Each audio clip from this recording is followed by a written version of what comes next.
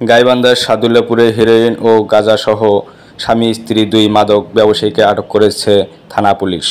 সাদুল্লাপুরকে মাদকমুক্ত করার লক্ষ্যে গাইবান্ধার জেলা পুলিশ সুপার মোহাম্মদ কামাল হোসেনের দিক নির্দেশনায় এবং সাদুল্লাপুর থানার অফিসার্স ইনচার্জ মোহাম্মদ মাহবুব আলমের সার্বিক তত্ত্বাবধানে গোপন সংবাদের ভিত্তিতে সাদুল্লাপুর থানা পুলিশের একটি চৌকস টিম অভিযান চালিয়ে উপজেলার নলডাঙ্গা ইউনিয়নের দশলিয়া গ্রামস্থ ইউনিয়ন পরিষদের সামনে শ্রী কোমল চন্দ্র দাসের বসতবাড়ির আঙিনায় মাদক বিক্রয়কালীন সময়ে ধীরেনচন্দ্রের ছেলে শ্রী কোমলচন্দ্র দাস ও তার স্ত্রী আলো রানী দাসকে গ্রেপ্তার করা হয়।